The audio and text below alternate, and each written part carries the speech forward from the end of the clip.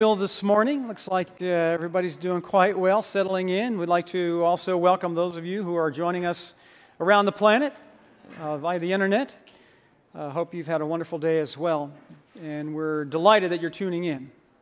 Uh, this is going to be uh, our final presentation, and so um, where we're going to go with this is we're going to go right back to where we started in the beginning.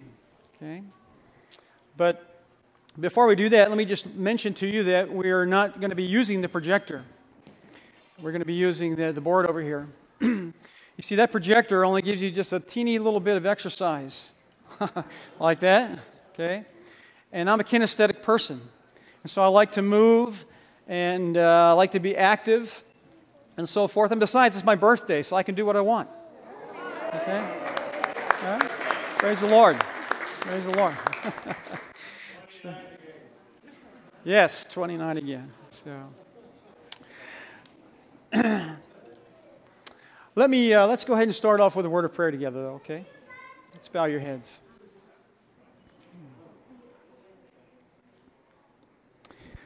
Father in heaven, I want to thank you so much for life this day and another birthday.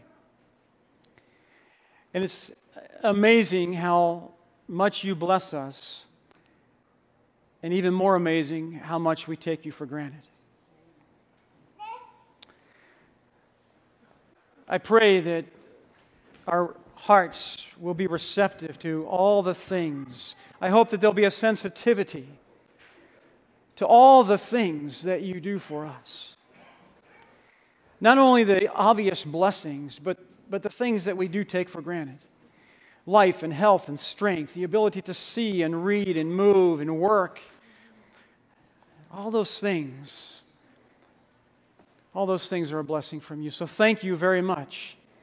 And thank you for the folks that are here and those that are tuning in. We pray, Lord, in this last presentation that our hearts and minds will be open and receptive and that we'll hear that still small voice speaking to us. Time is of the essence, and we know there's much work to be accomplished. And so, Father, equip us for the task ahead, is my prayer in the name of Yeshua. Amen. Okay, we're going to go right back. I'm going to go to the screen here for just a minute. and the first presentation that we, that we started with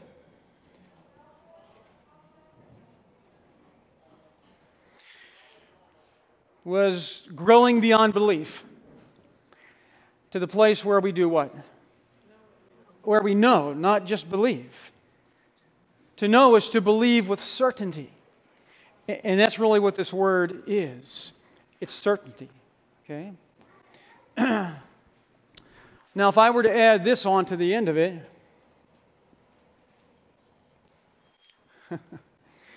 knowing and I think of uh, Romans chapter 13 and verse 11. It tells me that I'm going to be knowing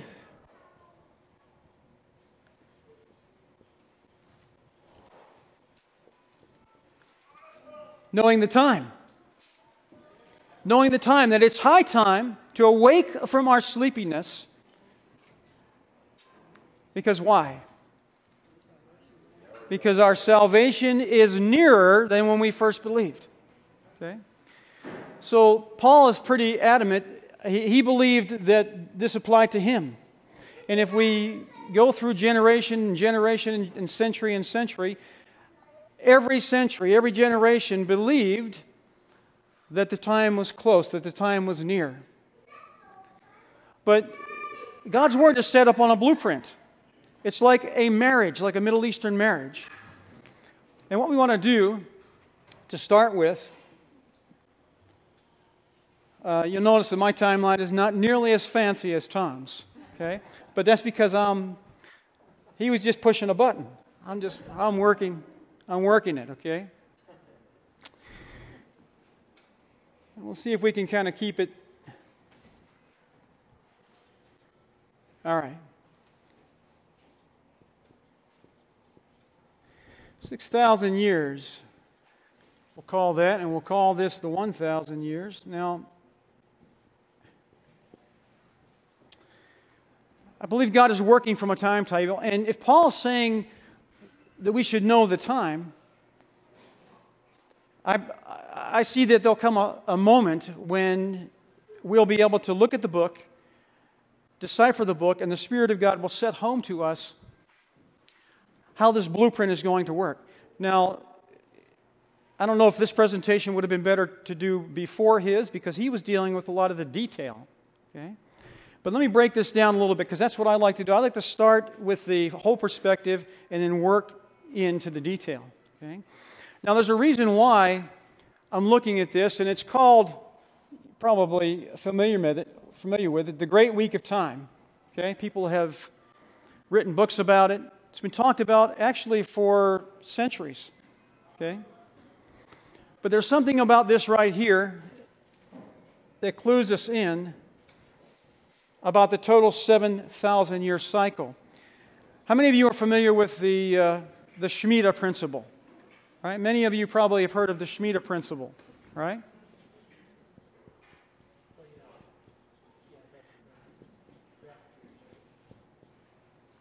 Pardon me? That's the rest years? Yeah, the seven year rest cycle.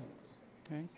Now, when you go into Jeremiah and when you go into Daniel chapter 9, for example, Daniel talks about the 70 year captivity. Okay? Why, why was Israel taken captive for 70 years? Because they had violated 70 Shemitah cycles over a period of 490 years. And uh, they went, they, they actually came up with some, some quite brilliant excuses as to why they didn't want to cooperate with God. Now, what was God trying to do with this? What was, why did God say, let the land rest every seven years? So that he could do what? Teach faith. Okay, develop that relationship. I mean, he, was, he actually built it into their economy. It was part of their, their economy. And it was to build faith and trust because he had promised, right? So the land was to rest. Now, this thousand year period are actually a thousand Shemitah years when the land is to be at rest. And if we know this is a thousand Shemitah, uh, if we understand that, then we, it mandates that the cycle is only 7,000 years long. Okay? So I hope you can catch that and follow that. We can break this down into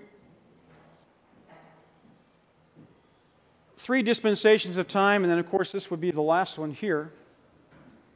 And I think I put these on the board the other day, and you'll remember them.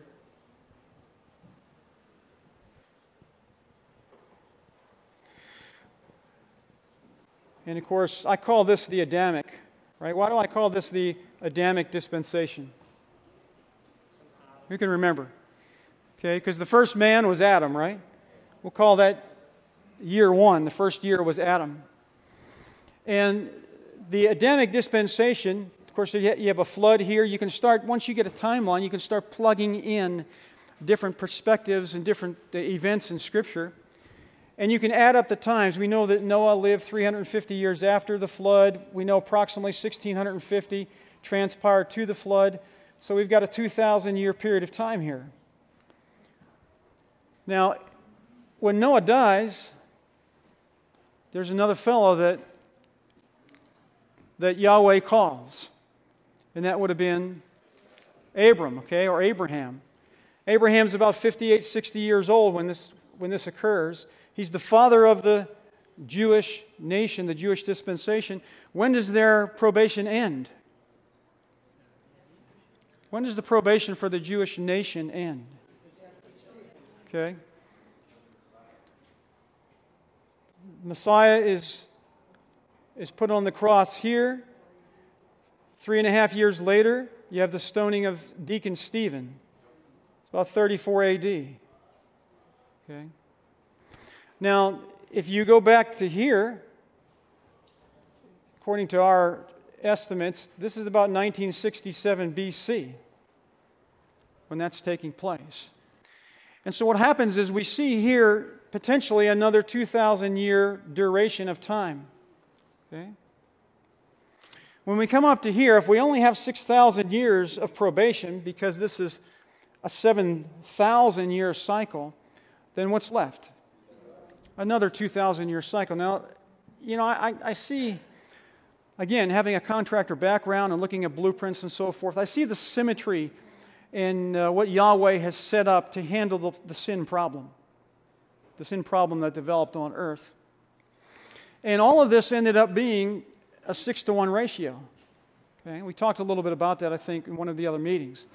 If you go into the book, um, what you find are numerous, and I'm talking numerous examples of this. It's almost as if uh, Yahweh was saying, This is going to be the cycle of time to handle the sin problem, but let me go ahead and give you a bunch of hints. So I'll set up the weekly cycle. What's the weekly cycle? Six days of labor, Sabbath left, Sabbath rest.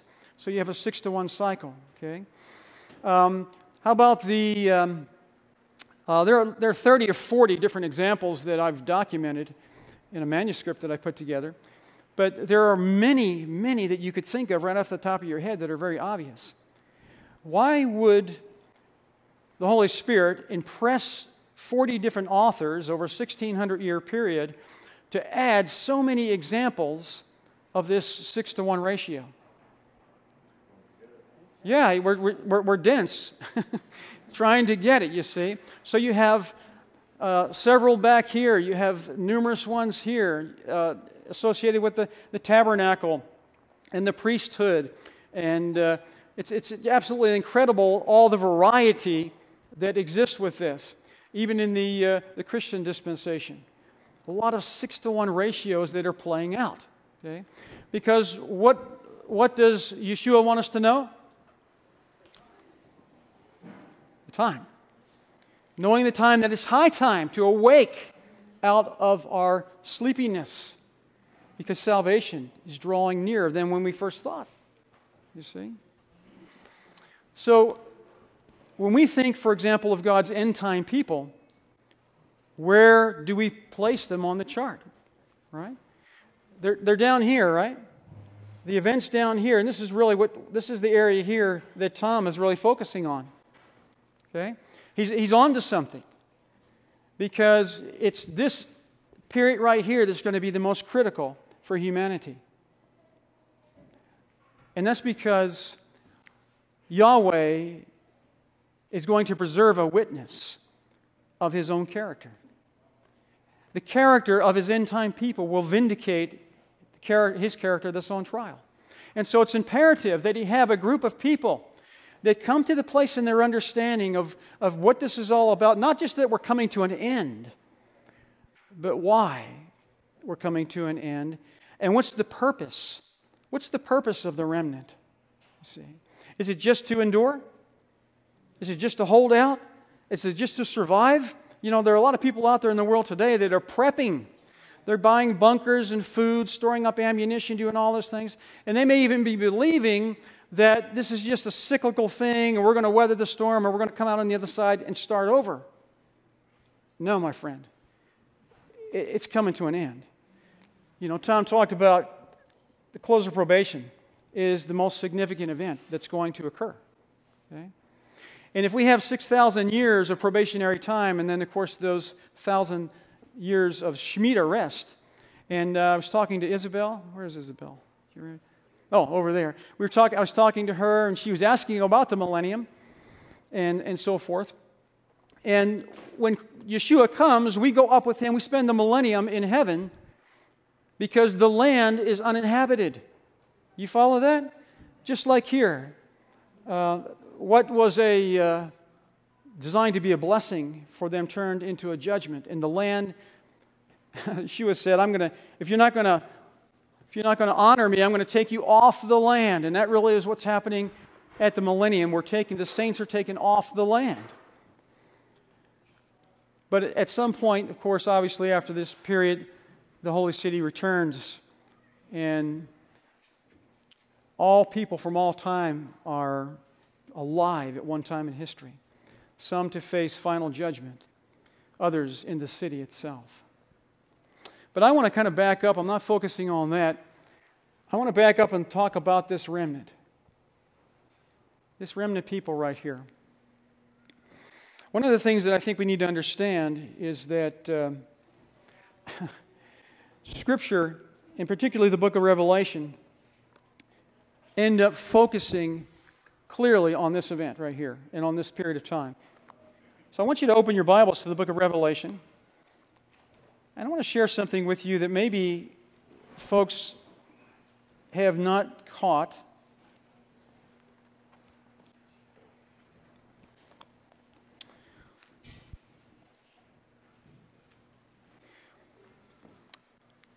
You know, it's important when we study Scripture to get the context of what the book is actually trying to say to us. So the context is always very important. Chapter 1, okay, right at the very beginning.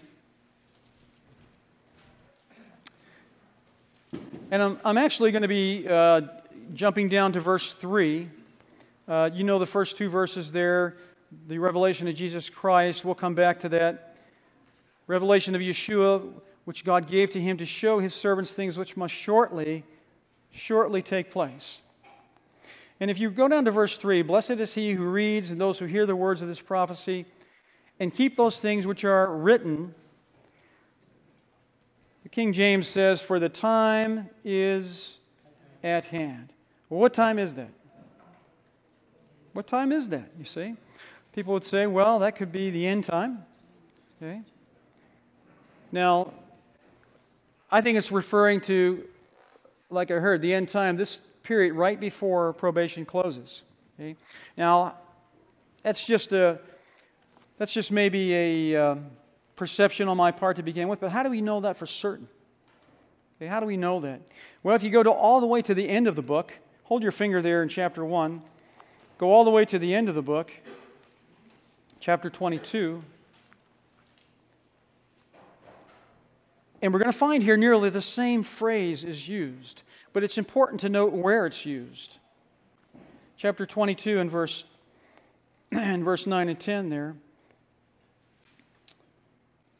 This is uh, John seeing the angel, and he's bowing down, and, and the angel says, You know, see that you do that not. I'm your fellow servant and your, of your brethren, the prophets, and of those who keep the word of this book, worship God.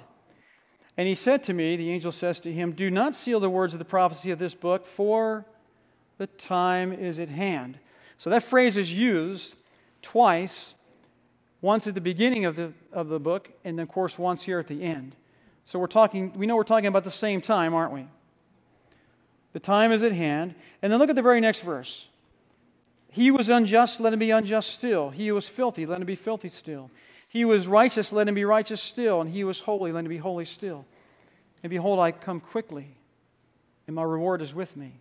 So, what's the context? We see clearly the context of how this second phrase, dealing with the time as at hand, is used. It's used just prior to the close of probationary time. This is a declaration of the closing of probation. He that is filthy, let him be filthy still. He that is unjust, let him be unjust still. But he that is holy and righteous,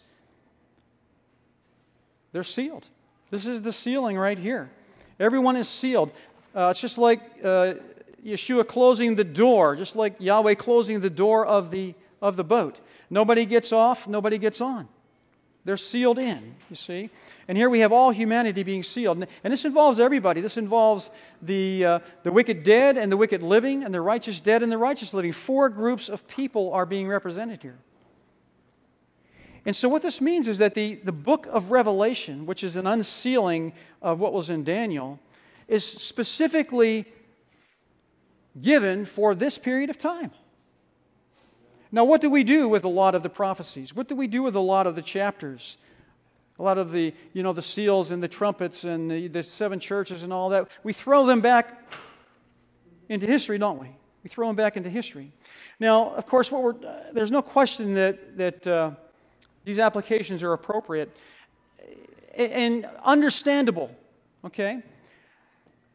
What happened for example, back in the days of the apostles, is they believed, they believed that they knew the time was near. The disciples truly believed that Yeshua was going to come soon. Things were going to wrap up. It didn't happen. You go a couple of centuries into the, into the future and you, you come up to a fellow named Victorinus. I don't know if anybody's ever heard of him or not, but he was a, a Catholic monk, a Catholic priest.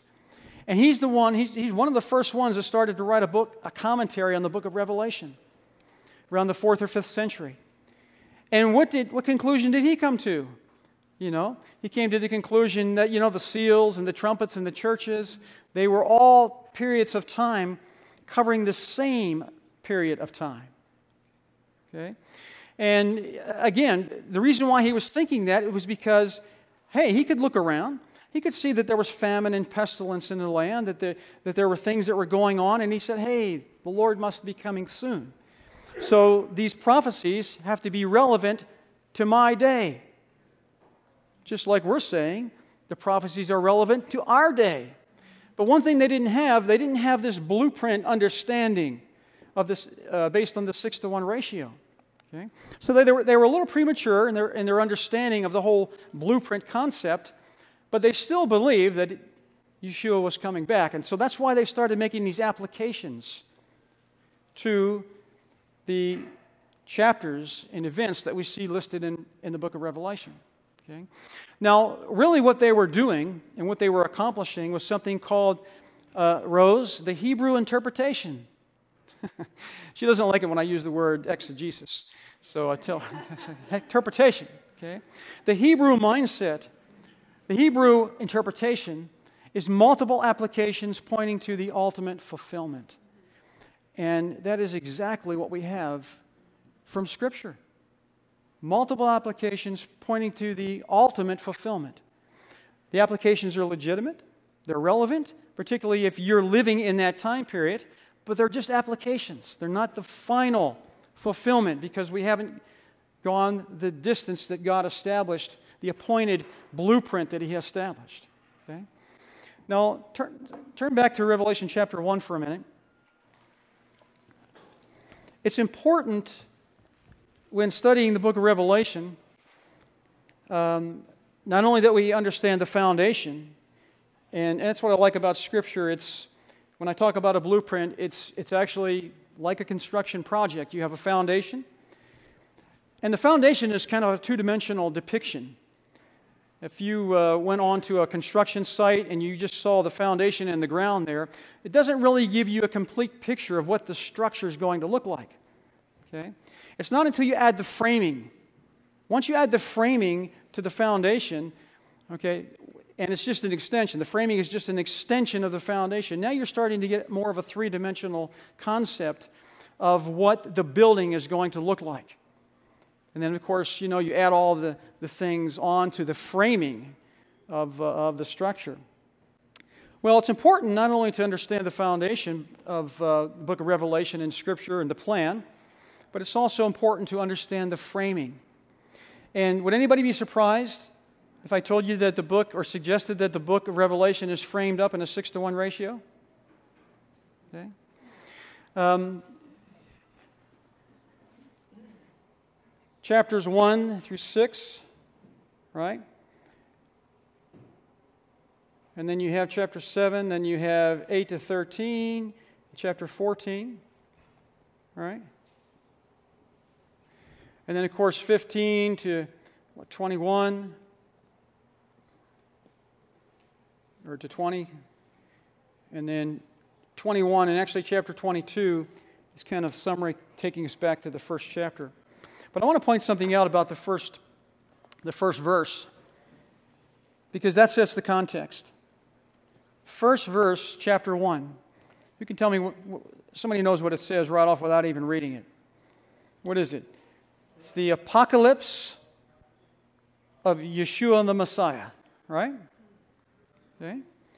Isn't that what you read there? It's the revelation of Yeshua. Okay? Uh, that's not, that's, that's done there, that's done on purpose. John did that on purpose under the inspiration of the Holy Spirit.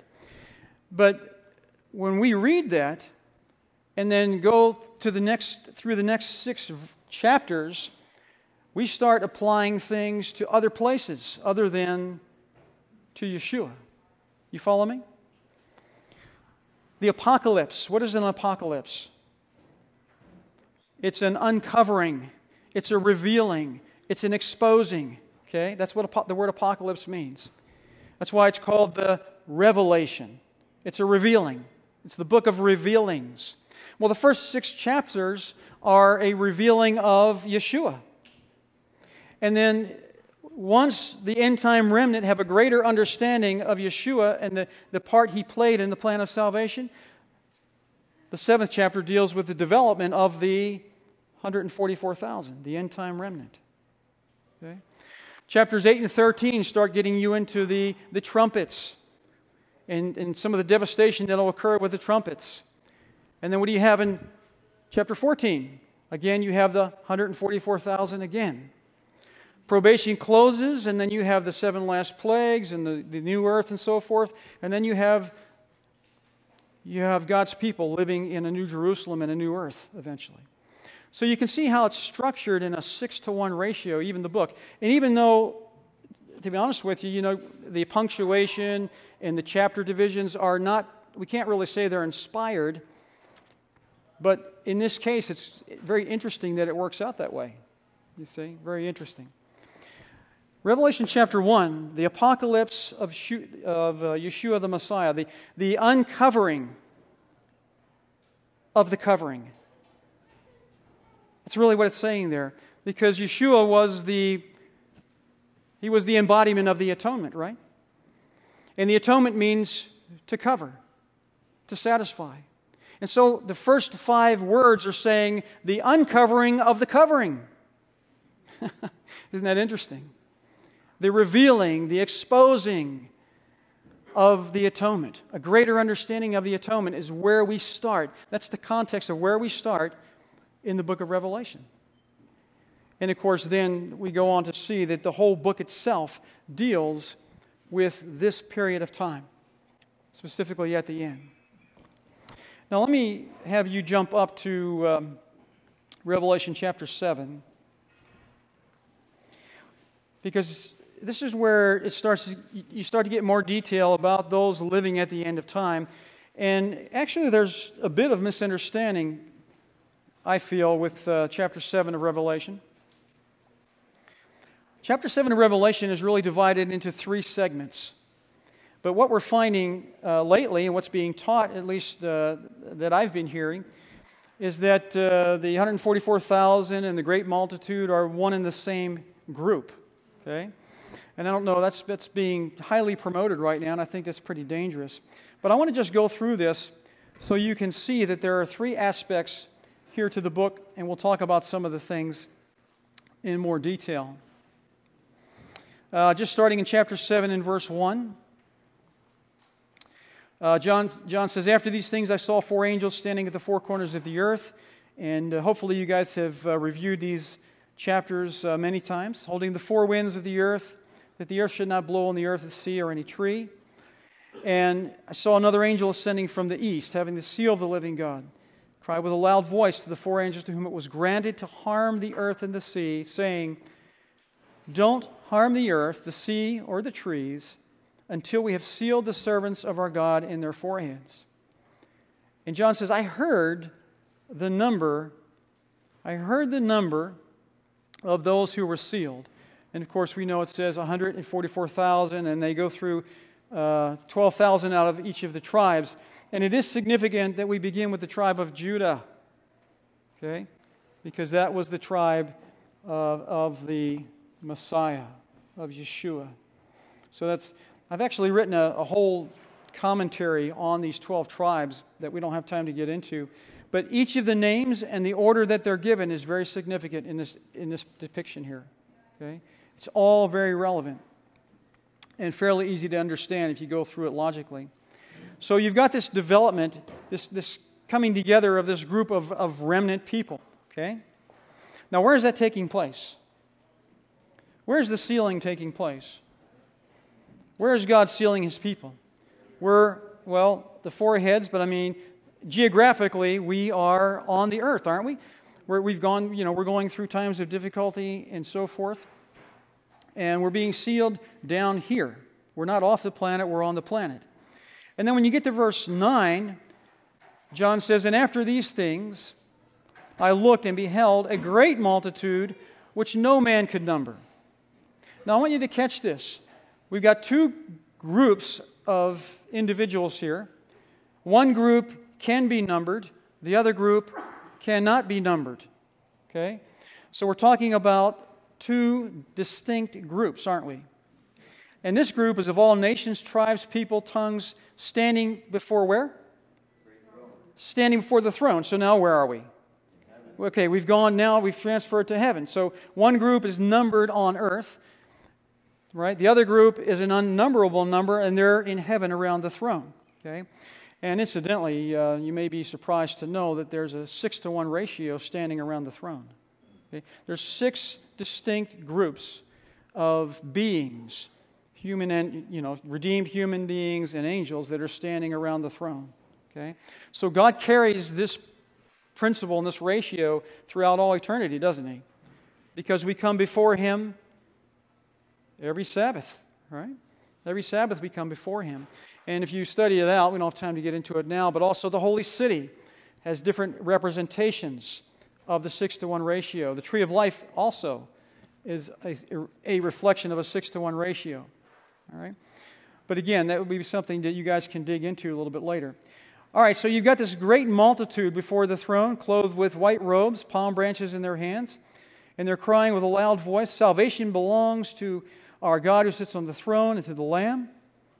And the angels stood around the throne, and the elders and the 24 creatures, these are some of these groups I'm talking about, fell on their faces before the throne, and they worshiped God, saying, Blessing and glory and wisdom, thanksgiving and honor power and might be to our God forever and ever. Now, there's a, a change now again. There's a refocus when you start in verse 13. This is the third aspect of this chapter. Then one of the elders answered, saying unto me, Who are these arrayed in white robes, and where did they come from? Now, it's kind of an interesting question since we just learned that everybody, is, everybody there is in a white robe with a palm branch. Okay? So, why would the angel, why would the elder here be asking this question? Who are, who are these over here? That, that kind of shows you that there are distinct groups around the throne because he's highlighting a particular group. Okay, do you see that? Who are these arrayed in white robes? Where did they come from? And I said to him, Sir, you know. You know where they came from. These are, they, these are the ones who came out of great tribulation, washed their robes, and made them white in the blood of the Lamb.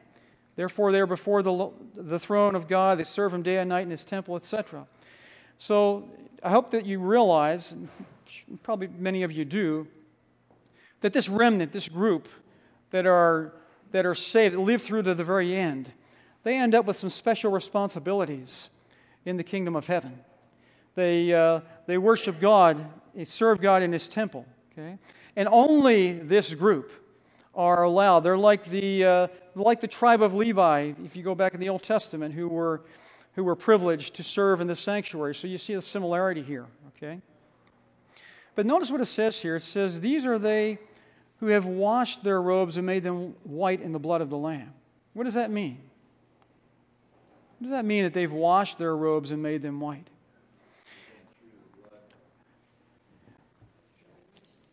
If you go back just a chapter, chapter 6, if you go back to the uh, fifth seal, what you see there in chapter 6, verse 9, you see the, the souls, right, who have been slain for the word of God and for their testimony which they held.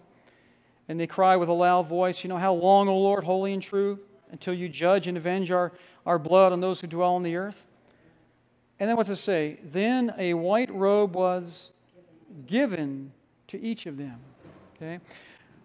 There's a distinction between those who have been given robes and those who wash their robes in the blood of the Lamb.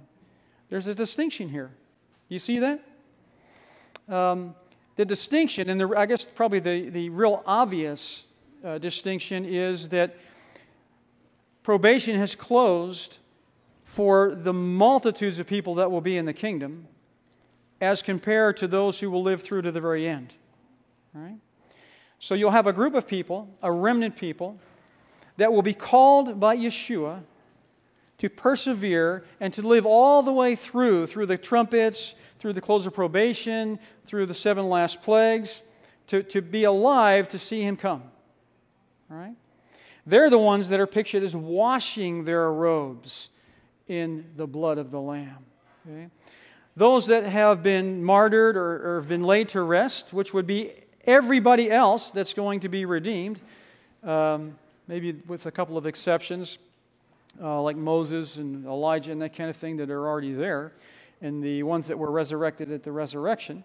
But you can see the distinction. There's a, there's a distinction between the two. This is being highlighted in Revelation 7. Okay? So there's a, the vast majority of, of the redeemed will be given white robes, but there's a group, and only God knows who they are, that will live through to the end, and they will wash their robes in the blood of the Lamb. Now, what do you think that means? What's going to enable them to live through to the end? What's going to enable them to stand in the presence of Yeshua when he comes? Okay, their spirit and their faith. Their, their right, well, not their righteousness, but their character, okay? But you know, it's interesting that you say that because in chapter 19, it's talking about these people again, and it actually says their righteousness. Okay, so it's interesting that you say that. Chapter 19, chapter 19 in verse 6, reading on down through there, says, I heard as it were a voice of a, a great multitude as the sound of many waters and the sound of mighty thundering, saying, Hallelujah! For the Lord God omnipotent reigneth. Let us be glad and rejoice and give him glory, for the marriage of the Lamb has come, and his wife has made herself ready. The bride. Uh, the bride of Christ is, is not only the holy city, but it's the redeemed as well. Okay? But it's the redeemed having made themselves ready, you see. And to her it was granted to be arrayed in fine linen. Here's that same expression again that we find in chapter 7. Arrayed in fine linen, clean and bright, for the fine linen is the righteousness or the righteous acts what? Of the saints. You see, it's, it's not, they don't have any really righteousness of their own, but it's the righteous acts that are being accomplished and they're accomplishing them in the power of Yeshua. Okay? I was reminded, uh, chatting with uh, someone here this week, of an analogy that I've used uh, many, many, many times. And maybe it's appropriate more so here because uh, it involves the moon. You heard of the full moon principle? right? You heard that? Um, the sun, the S U N, is out there shining in our solar system, lightens our world. And as we see the moon traverse across the sky, we see it, you know, we see the new moon, then we see the quarter and the half, the three quarter, we see the full moon, etc., etc. What has God done there? What, what kind of illustration has He actually just put in the heavens for us to observe every single day, practically? a full moon principle. See, the, the moon has no light of its own. Okay? Um, how much light do we have spiritually? Zero. Zero. And so, as, as the uh, moon uh, goes in its revolutions and so forth, and we observe it, uh, and, we, and we see the full moon, that's, that's, we're seeing the full reflection from the SUN. But why at certain times of the month, why is it that we see a quarter moon, uh, a half moon, etc.? Why is that? Because this world gets in the way. Right? And what we're seeing here in Revelation is a depiction of a Christian in their spiritual walk with Yeshua. Does he want us to shine like a quarter moon? A half moon? What, ha- what happens when we're shining as a half moon or a three quarter or a quarter? What's, what's happening actually? This world is getting in the way. See? And so, what we're seeing in Revelation here is that these remnant are shining like a full moon. Okay? They're reflecting the full light of Yeshua. Nothing in this world is blocking any of that out. It's amazing. And, and God put that up there for us as an illustration that we can be reminded of every single day. He wants us to shine like a full moon. He doesn't want any of this world to get in the way. And that's what we see here. We see a group of people that, uh, that get it. They're, they're, they're, be, they're understanding the time. This is the time. This is the time to really get serious, really get committed, really get convicted. This is the time for, for self to come off the throne and for Yeshua, for our will to be so closely identified with His that what we do is natural in a sense. That's going to be very difficult, isn't it? Because the enemy is going to try to not only deceive us, but to put us through the fire. But we need to be like the three Hebrew worthies on the plain of Dura, bound even with ropes, thrown into the fire, the furnace heated seven times hotter. That's important, significant. But what gets burned off? Just the ropes. They don't even have any smell of smoke when they come out. See? Because who comes right there with them? Yeshua is right there with them. And that's the same here with the remnant. The remnant are walking with Yeshua. And anything that's, that, that they try to use to bind just falls away. There'll come a time when they, they try to hunt you down and they'll, they'll raise their weapons to try to, to, to destroy you, to, to take you out, and those weapons will just fall limp. I'll be able to use them because who is fighting for us? We're being protected by angels that excel in strength and power.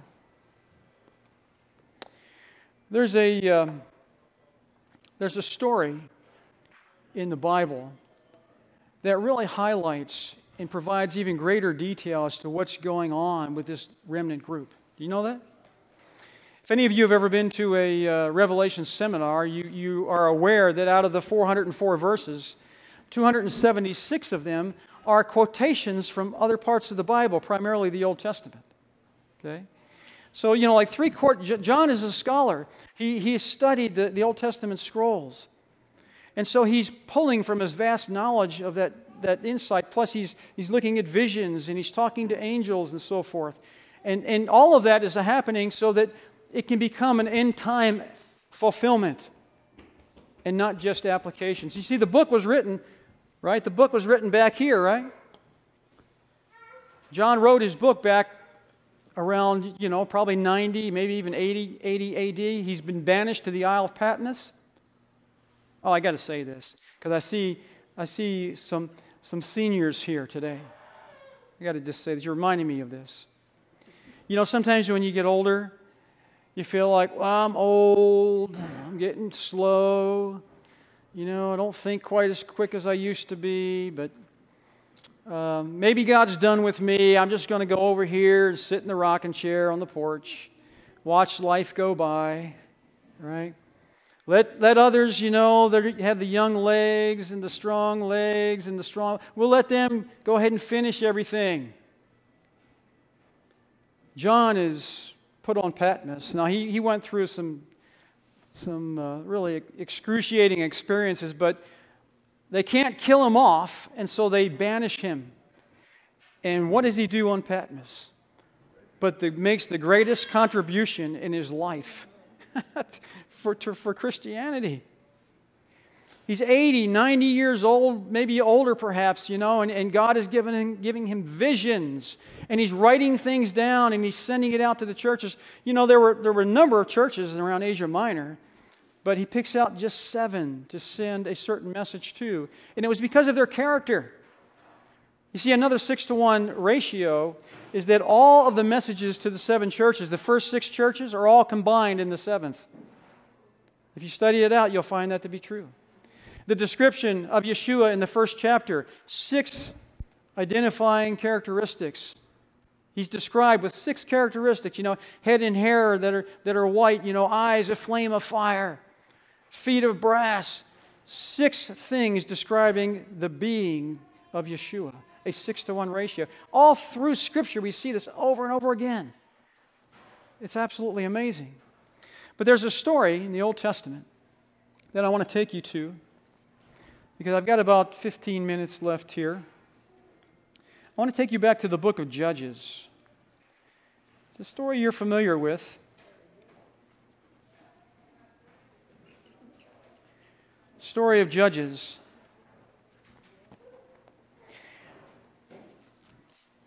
And there was a man that was called that ended up being a judge in Israel. And when you read through Judges chapter 6 and 7, all of you, I'm sure, are aware of the story of Gideon. Right? Story of Gideon. And it's just fascinating how God calls him, this young man who was hiding. And why, was, why was he hiding? He was hiding because the Midianites were causing all kinds of grief and all kinds of problems, right? And so they're, they're, they had to go to obscure places to grow their wheat and so forth and to, to harvest it, etc. In fact, uh, I'm looking here, uh, verse 33 of chapter 6. It says, All the Midianites and Amalekites, the people of the east, gathered together. They crossed over and encamped in the valley of Jezreel. So they're down there in the valley of Jezreel. But it says, The Spirit of the Lord came upon Gideon and he blows the trumpet and he gathers behind him and he sends messages throughout all of the, of the land. And people start responding to this message that he has sent out right? He sends messages to all the tribes. God has called him to play the, the, the role of savior for the people of israel around during this time and of course uh, He's quite certain that he's the one that's been chosen, right? no, he's quite apprehensive. He's quite apprehensive, you know. He said, Look, I'm the least in my father's house. What are you, what are you talking to me for? Can't you see what I'm doing here? I'm, I'm scared, so I'm up here doing this in the, in the hills. But yet, the angel is quite sure. And who do you think that angel could have been? yes, I think so. So it says here So Gideon said to God, If you'll save Israel by my hand, as you have said, he's going to put out a fleece, right? And so he puts the fleece out, and we know the story of that. And he becomes convinced. The Lord encourages him and inspires him that you're my guy. I know, I'm telling you, you're my guy. So when we get to chapter 7, uh, it says here, the first two verses, and this is interesting. It says, uh, Then uh, that is Gideon, and all the people who were with him, rose early and encamped beside the well of Harod, so that the camp of the Midianites were on the north side of them by the hill of Moreh in the valley. And the Lord said to Gideon, this is key, the people who are with you are too many. Too many for me to give the Midianites into their hands. Okay? So Gideon has amassed the army. Uh, you probably realize in the story, Gideon has ma- amassed an army of how many? 32,000, right? Well, you might not know what K is, but let's say 32,000. Okay. 32,000 have responded to the call. I'm sure uh, General Gideon was quite pleased with the response, but he still knew that he was outnumbered at least four to one. But, you know, but look, this is Yeshua's army. And four to one, what are those count? Ah, that's just nothing. Yeah, we'll take care of that. No problem. Right? Of course. Yeah, four to one, no problem. You know. But what does what does what does Yahweh say to him? There's too many. And then he tells us exactly why. Lest they vaunt themselves against me, saying, Look what we have done. we look what we've done. You know, our mighty armor, we, uh, army, we chased them away, we defeated them. And so here's the thing Yahweh knew that He was going to give them the victory. He already knew that, okay? And He wasn't going to allow them to claim the victory for themselves. This was going to be His victory. So, what does He have to do? He has to start whittling the number down, doesn't he? He has to start whittling the number down. And so uh, Gideon has forgotten something. You know, in his upbringing, in his schooling, Gideon knows that there is an Israeli military protocol. Right? Because we're talking about military. You actually find that in Deuteronomy 20, the first eight verses, is the Israeli military protocol. Okay? And he, Yahweh taps him on the shoulder and he says, Gideon, you forgot to make the declarations. Because, see, Gideon already knew he was still outnumbered four to one. So he, he didn't bother with that because he didn't want anybody leaving. You know, four to one's not bad, but we can, we can handle that. And so Yahweh reminds him make the declaration and the declaration, really, you can read it later, but it sums up like this If you have been, if you just recently got married, and you haven't been married for more than a year, you're dismissed. If you're a newlywed, if you've built a house and you really haven't lived in it for more than a year, you are dismissed. Or if you've planted a garden, if you've planted crops and you've not harvested them, you can be dismissed. Or if you are afraid, if you are fearful, you can go home. Okay? So when Gideon finally relents and says, Well, we'll give it a try, you know, maybe it'll work. I hope, I hope, I hope it doesn't do what, what it could. He makes the declarations, and what happens? Wow. 22,000 leave right? Man, that's a lot of building and farming and marrying going on. Isn't it? That's a lot of this. But what, is, what does Yahweh say to him? Still too many. That's now you think maybe General Gideon is getting a little concerned. You know, he, he feels confident that God has called him, but then he sees Yahweh whittling down his army, right? And of course, he's doing it on purpose, isn't he? And he's doing it for a reason, right? What does Yahweh say? He says, okay, march them down to the river, and I will test them. I will test them. See? And so they go down to the river, and you're familiar with the story. You know, many of them throw off their armament, you know, and they get down on their hands and knees and are just lapping the water up like, a, like an animal and so forth. But there are a few who walk through the river and they just pick up in their hands, they cup their hand and they just scoop up some water and they drink it as they walk across because they are expecting an immediate advance on the enemy. And what do they end up with? They end up with 300. Now, why is Yahweh whittling this number down? Pardon me? Is that six to one? It's not. He, asked me if it was six to one. okay. It's not six to one. Okay. Anybody know how many uh, Midianites are in the Jezreel Valley there? The Bible tells us. Anybody have an idea? Okay, that's close. That's a little too much. 135,000 Midianites in the valley. Okay? Now I'm going to see if you get this. I'll see how close you're paying attention. If you run the numbers, Gideon's 300 to 300, 135,000, you do come to a ratio, Kirk. Okay? The ratio, we'll put it over here,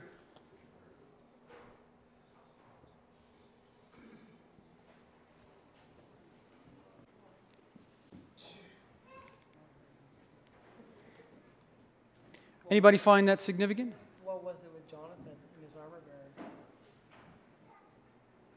You'll have to check. What about another story that deals with the same ratio? Elijah going up Mount Carmel, right? Against the 450 prophets of Baal. Wow. And what's going to happen there? Yahweh is going to rain fire from heaven, and He alone is going to be seen as the victory, and He alone is going to receive the glory. There's a connection between those two stories. But what about this little group here? You see, actually, the smaller the number, the greater the miracle. You know, the very same thing is happening at the end. You know? There may be millions of believers in the world today who are just so grateful to Yeshua for what he's done and, and so positive and such a witness and so forth. But Yahweh is, is going to, in my opinion, he's going to do the very same thing. Because, you know, people are, people are a, a bit taken by the fact that, do you mean God only ends up with 144,000 saints at the end? Okay. Now, some people misunderstand and think that, you know, that's the total number of redeemed. That's just total nonsense. There are going to be multitudes of redeemed in heaven. We read it. Multitudes around the throne. Every nation, kindred, and tongue of people. But at the end, when, when, when his character is on trial and when his reputation is at stake.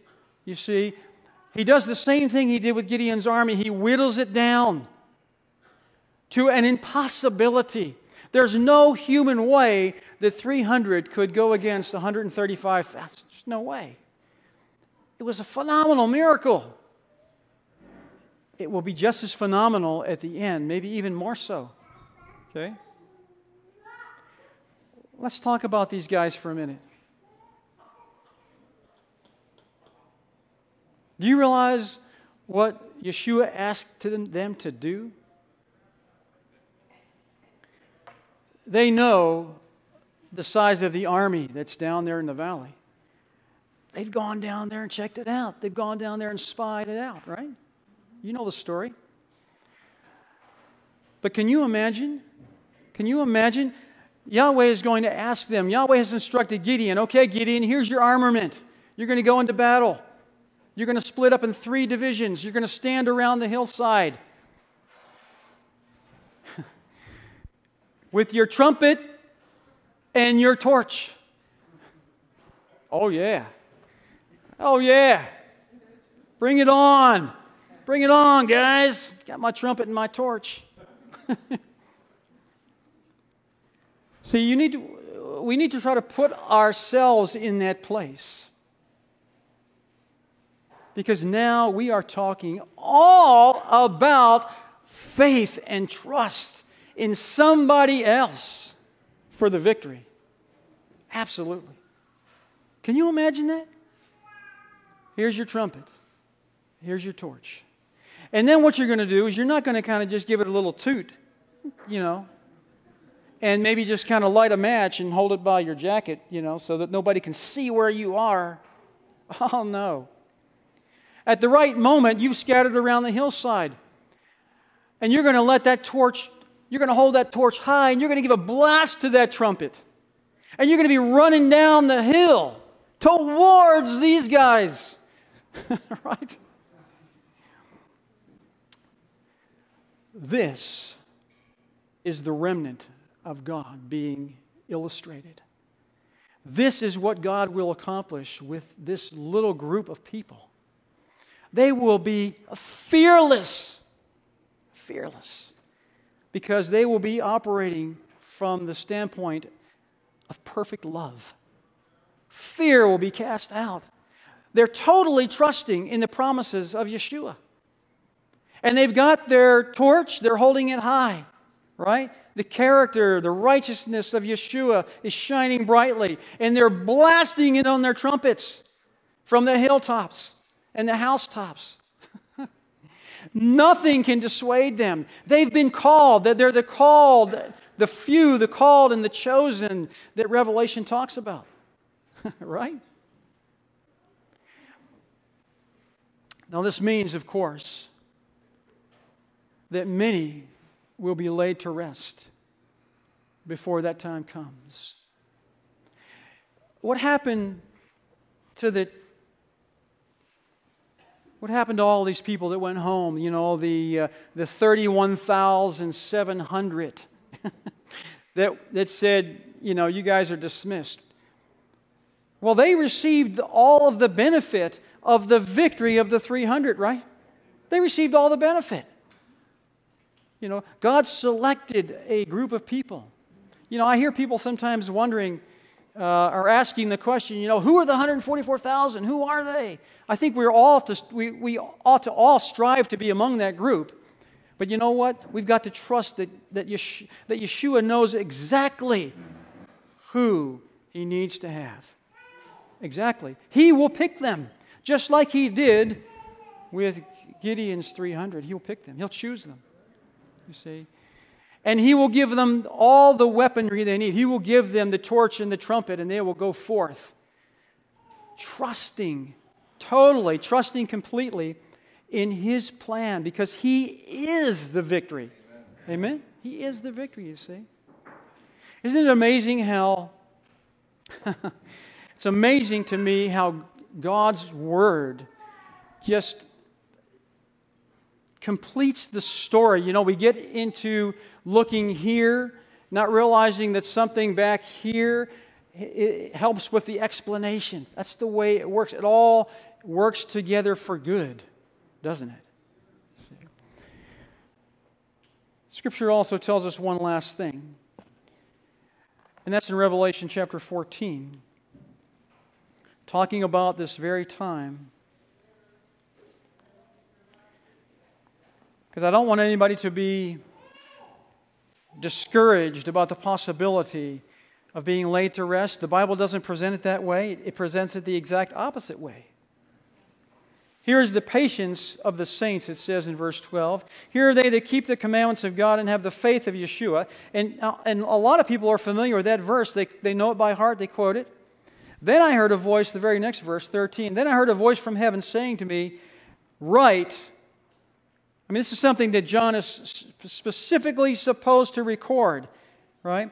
Blessed are the dead who die in the Lord from now on.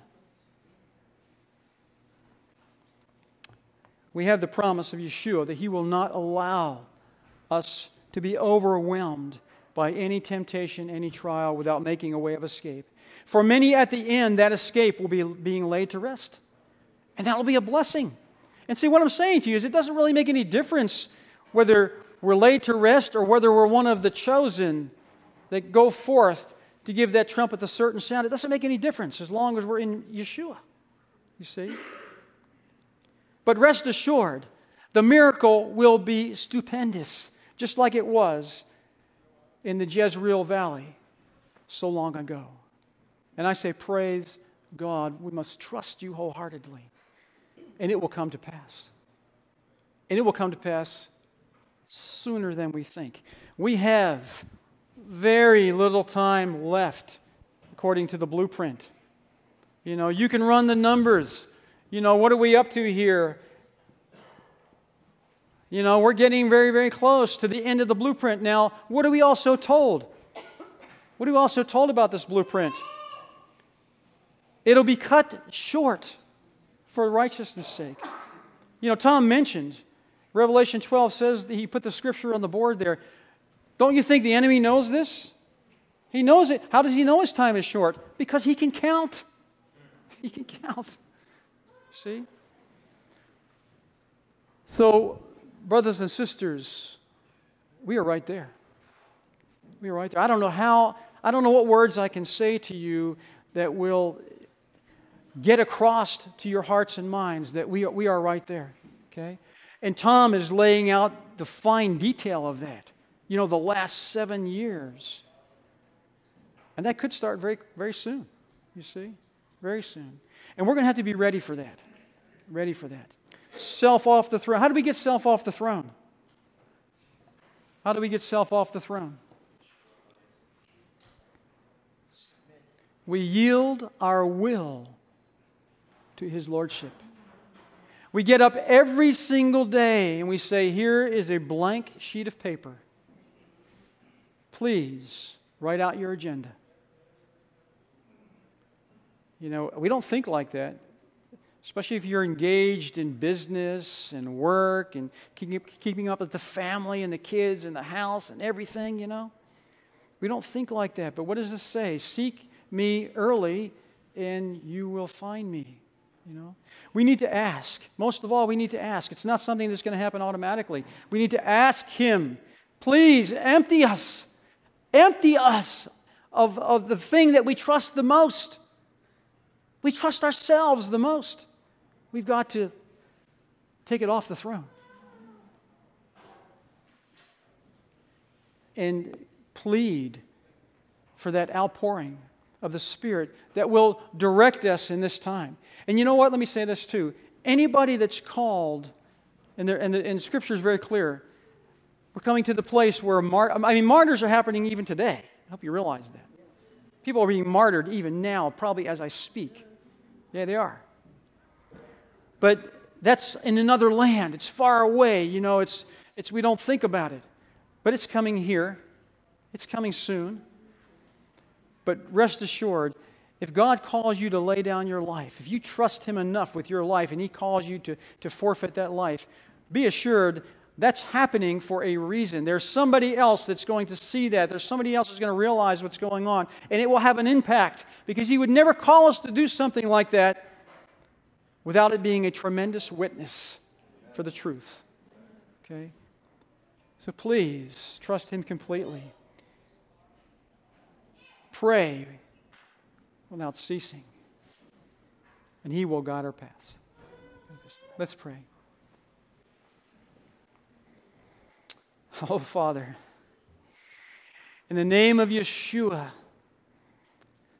thank you so much for granting us an understanding of where we are in time. We, we are knowing the time. And it's high time that we get off the throne and give you complete authority over our lives.